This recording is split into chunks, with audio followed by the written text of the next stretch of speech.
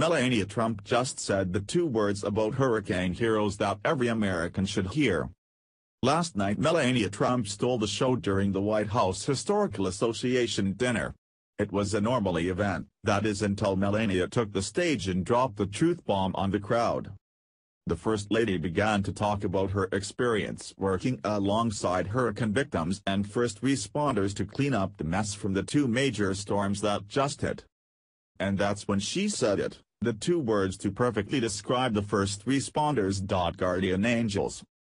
Melania left the room in complete awe when she told them. We saw first responders, some of whom went from Harvey's aftermath directly to the path of Irma helping those in need and serving as guardian angels to those left with only prayers and hope. She also talked about seeing all the acts of bravery, chivalry, and kindness from people who had just lost so much reminded her what true American character is. Melania is a great First Lady and works very hard to do everything she can to represent our great nation well.